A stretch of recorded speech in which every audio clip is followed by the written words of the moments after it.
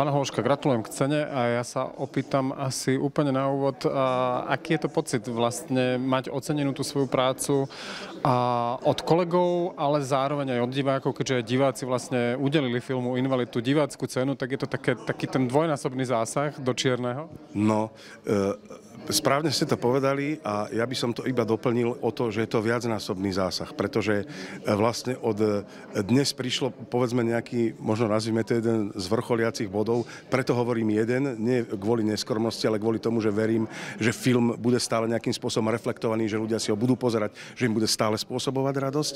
A e, jednak je to o tom, že kým prišiel dnešný deň, už odtedy to prešlo mnohými peripetiami, že e, vlastne jedna fáza bola, že boli kina, potom sa to dostalo na Netflix, potom dokonca to, neviem, či aj na YouTube nebolo. Potom e, neviem, či som, spomenul som už letné kina, áno, spomenul som letné kina, čiže letné kina. E, teraz to e, získalo už po tento moment niekoľko cien, čiže e, ja to vnímam ako obrovskú radosť, satisfakciu a mnohonásobne zúročenú prácu. A tuto môj kolega fotograf priznal, že on videl ten film 4 krát dokonca. Ale ja sa opýtam, máte aj takých tých divákov, ktorí... Lebo mám pocit, že keď sa podarí takýto film, tak sa podarí potom aj presne vytvoriť znova ten kontakt s diváckým fanúšikom. A neviem, či ho vy zažívate. Že sa vám treba z ľudia hlásia a ďakujú za to, za, to, za to, že ste ich zabavili a za to, že čo ste im v tom filme priniesli. Áno, stretol som sa s veľmi príjemnými reakciami. Na ulici ma zastavili ľudia v podniku, keď som bol na obede. Stalo sa mi to v električke e, stalo sa mi to na pumpe, proste na úplne rôznych rozmanitých miestach. Nie, že by sa to dialo úplne stále, nechcem preháňať, ale, ale je to milé a je to dôkaz o tom, že ten film naozaj rezonuje a nejak, nejakým spôsobom koluje v tej spoločnosti. Invalid je jeden projekt a vy ste okrem teda toho tento rok mali vlastne účinkovali vo filme a máme, čo sme chceli, ale ja sa opýtam na iný, ktorý ešte teda nemal premiéru a myslím si, že to bude tiež veľmi zaujímavý projekt. Je to, je to film Mickey, ktorý točí Jakub Kroner, vy tam teda hráte aj s Milanom Ondrikom, myslím si, že jednu z tých hlavnejších úloh. A a prezrate mi, aký je rozdiel v, možno v tom naozaj točiť takú tú echt komédiu a potom točiť portrét človeka, ktorý je veľmi rozporúplný a spoločnosť ho vníma práve takýmto spôsobom. No, veľká odpoveď je už vlastne v tej otázke, ktorú ste mi položili, pretože my sme sa síce aj v tomto filme zaobrali 90. rokmi, ale bolo to cez ten filter čierneho humoru. Kdežto e, ten film Mickey má v sebe, by som povedal, až v niečom hrozivo dokumentárny charakter. To znamená, že e, samozrejme, že aj tam sa snažíme tie bytosti vytvárať e, napriek tomu, že tá téma je veľmi čierna, ale nie čierno-humorová, ale naozaj veľmi čierna a dramatická, tak tiež sa ich snažíme robiť plasticky. To znamená, je tam vtip, je tam narážka alebo tak. Ale mám pocit, že to vyznieva skôr hrozivo ako úsmevne.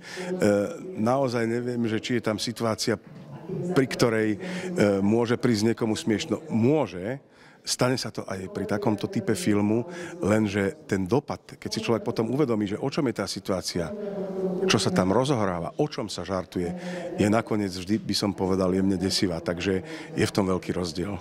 Opýtam sa poslednú otázku. Bola to pre vás podmienka ísť do toho filmu, aby ste vedeli, že vyznenie bude naozaj také, aby...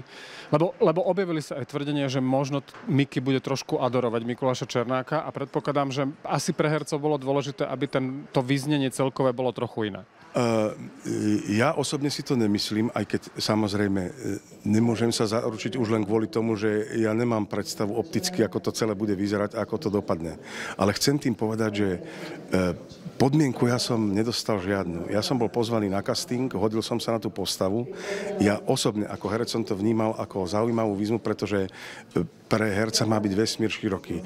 Stretol som sa v spoločnosti najčastejšie s dvomi typy názoru. Jedni hovorili presne toto, že na čo tu dávať peniaze z daňových poplatníkov a neviem čo na nejakého človeka, ktorý vlastne čiernou stopou v našich dejinách v 90. rokoch.